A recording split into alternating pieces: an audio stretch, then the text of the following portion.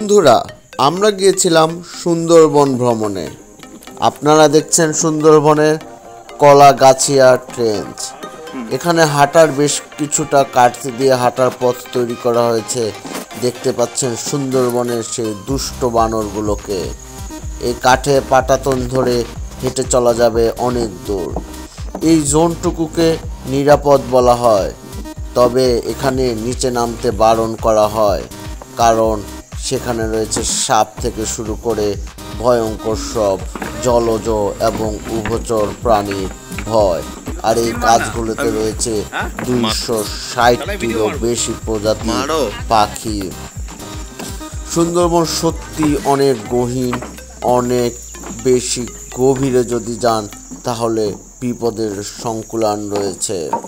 আপনারা দেখতে পাচ্ছেন এখানে গোলপাতা এবং সুন্দরী পাতার গাছগুলো।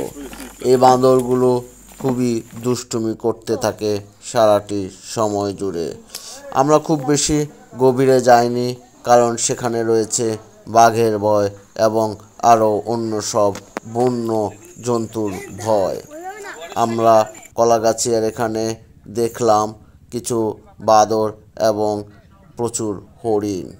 এই সুন্দর, সুন্দরবনের এই সুন্দরী হরিণ এবং এই ডোলাকাটা হরিণগুলো দেখতে সত্যি মন জুড়িয়ে যায়।